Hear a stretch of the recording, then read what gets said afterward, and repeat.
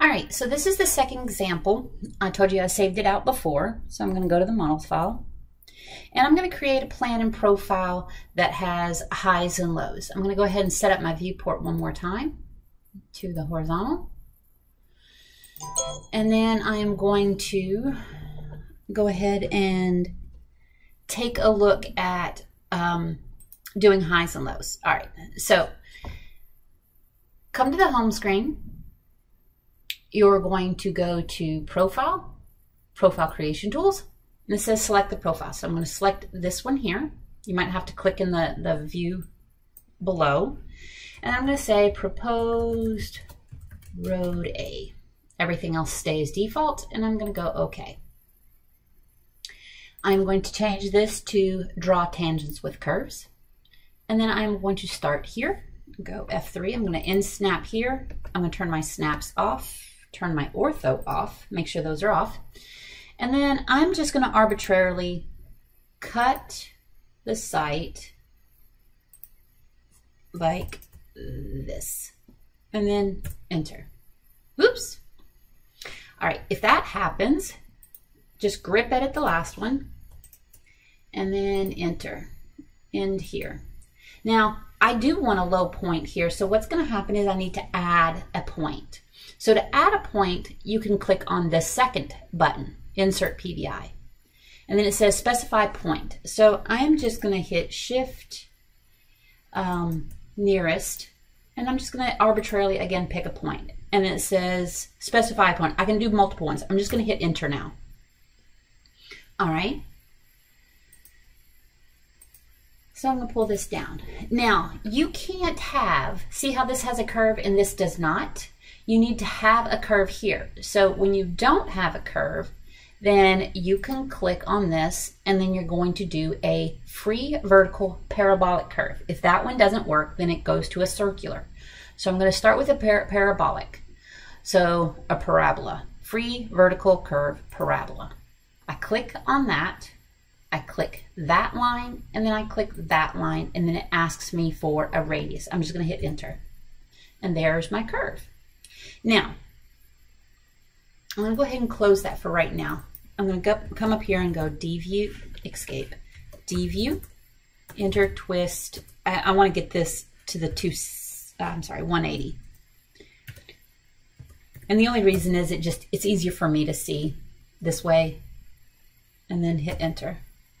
Okay, so I want a low point at, I want this first low point to be, um, I don't know, let's say at station, uh, let's put it at the PC, 131095, okay? So the other thing is on vertical curves, let's say the road speed is really low. Let's say it's 30 miles an hour. What I want to do is I can tighten up these uh, curves. They don't have to be that large. The larger the curve, the smoother the ride, but I normally see them around 75. So that means typically it's three times the speed.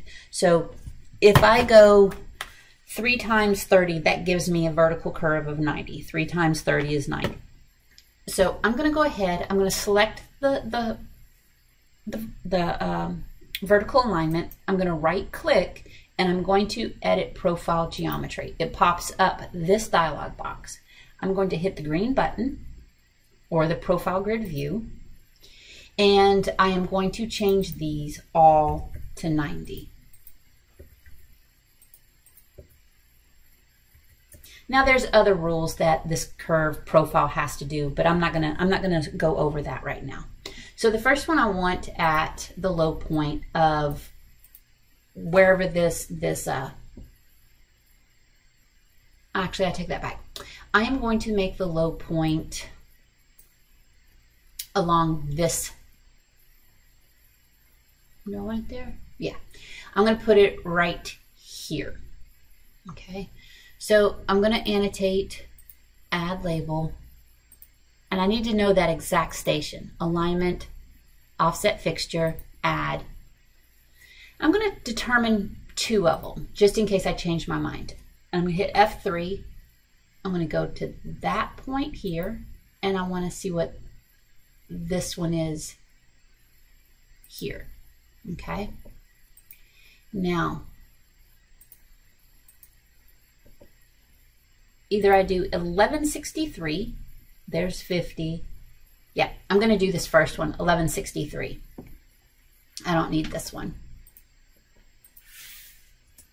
Because I want a high point, um, and I like the high point where it's approximately at, so I'm going to hold this station here.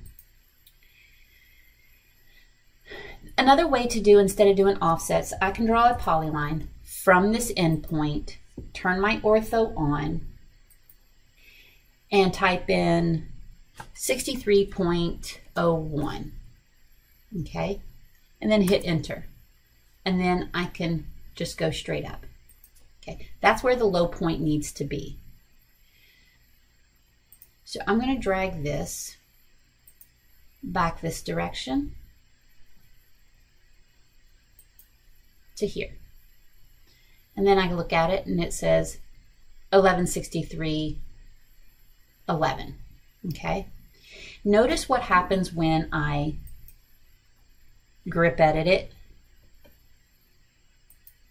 and I move it up. See how that low point keeps moving to the left and to the right? That's something else you can do by changing um, the slopes to get the, the, the spot to move. Okay.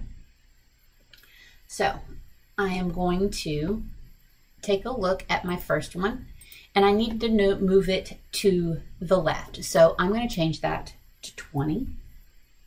And you can see that it moves slowly to the left.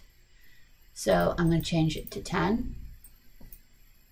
There is mathematical equations that do this, um, but this isn't the, the class for that. So I'm not going to teach you all, all about that. But there are mathematical equations that you can solve it this way. I'm going to change that to 29. Too much, 29 and a half.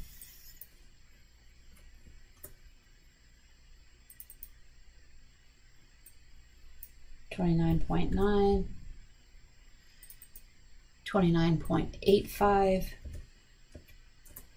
As long as you're, you're okay with the slopes that you have, you're good to go. All right, now, you also have um, the, the vertical curve is also based on your percentage slope coming in and percentage slope coming out. The Green Book, uh, the Florida Green Book also states if the what it's called the A, the grade change is greater than one, you have to have a vertical curve. Okay, specifically for different speeds. At different speeds, the change is, it varies. I may show you that information a little bit later or in class. All right, now, now that I got my low point set, I'm going to say right now my high point is at 1307, okay? So I actually want my high point to be in the middle of this curve. Now, here's the thing, is I got that one set, but the next one, let's let me show you. I'm going to do a station and I'm going to go to the midpoint of this and I'm going to go perpendicular. Oh, actually, I'm just going to do midpoint again. My bad. Come on. Do midpoint. There we go. All right, so 1350, 17 is where I want my high point. So this number here says 13 PVI station 1325. So I'm going to change that. Uh, sorry, I am going to draw a line from the 13. So polyline, get down here in your second view, and I just clicked up there, 1350, 17. Ah, back and forth. Sorry, guys. The nice thing is you can stay in the command. So I'm to turn my snaps off. I'm to come over here, 50.1 7. And then I'm going to draw it up. Okay, that's where my high point needs to be. So, so you see the little plus symbol? Now, since I set up the template, you can see the plus symbol. There are some templates that do not show the little plus symbol at the high points and low points. So I'm going to drag this over to there ish. Doesn't have to be perfect, but we're getting there. Now, notice where my low point happened to. So my low point, I have to bring it back to here. I'm not going to make these absolutely perfect. I'm just showing you. Okay, pretty close. All right, now I need to bring this up because that's that's that's way too steep and that's too small. So I am going to move this one over. I'm actually going to take, here's the other thing. So I'll take this one out.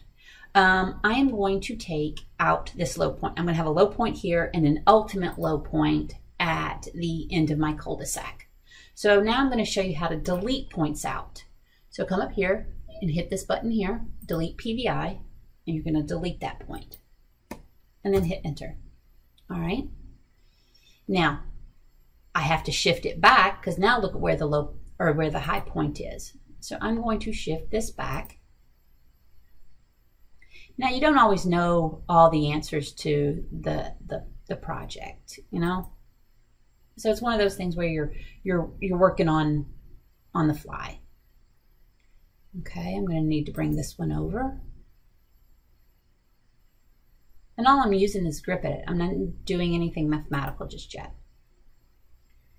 All right, and that's close enough. The high point, I just kind of want it in here. All right. Now, the other thing you have to look at is cut, fill, balance. Okay. So I have to fill this area and I'm cutting this area. So that's not a bad balance. Um, I would probably like it a little bit uh, more balanced as in what I'm cutting and what I'm filling. So, you know, anything above the blue line is going to be a cut situation. Anything below the blue and blue line to the green line is going to be a fill situation. All right, so let me delete these. So now I've got a low point here, a high point here, and an ultimate low point, oops, get over here, down here at the end of the cul-de-sac, which is fine. Okay, so that's my second scenario of my plan profile. I forgot to show you this, so I need to show it to you now. I need to update these bands. So I'm going to click on the band, I'm going to right click, and I'm going to um, edit the, I'm going to do profile view properties. See how it says band here? You're going to come over here and you're going to do profile proposed road. Okay? And notice that it updates the elevations. So you can see this one's real, that this one's the same. This one's a foot off. This one's close. So I'm actually hitting the exact same grade as we cross it. It just happened to be at the same point. So you can see the updated data.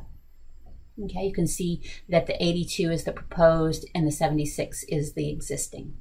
Okay, so that's the pattern. Now we're going to go ahead and print.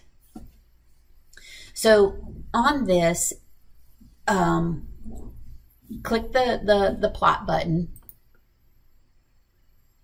and then go ahead and change that to monochrome. And you can do apply to layout.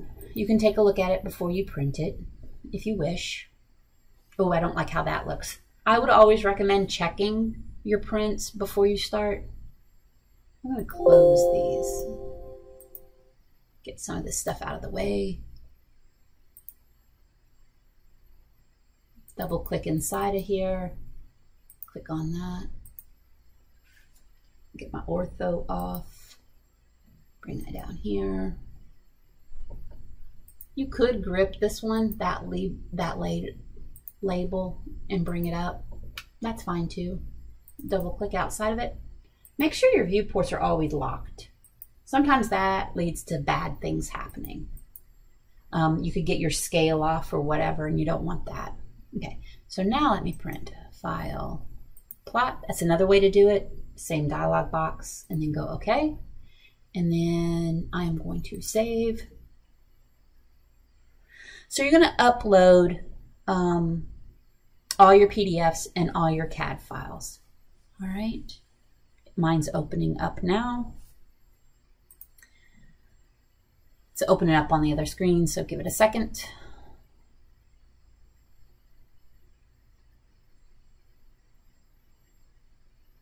There it is. And there is the profile. Okay. It doesn't look perfect, and I'm, I'll start working with you all on cleanup. It doesn't look perfect because of the monochromatic uh, plotting. Um, so the other thing is, is that I'll probably take time in the in the next for the before the the not next class but next half after that and show you how to do change your plot styles. Okay. But for right now, this is good enough. So that one, so you can give me four PDFs and now we have to print this one.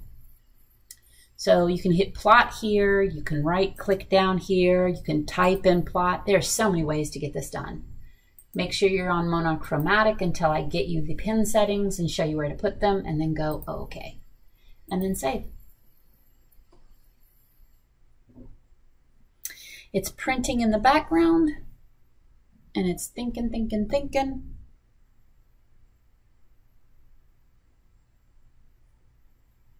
Give it a few more seconds, and there it is.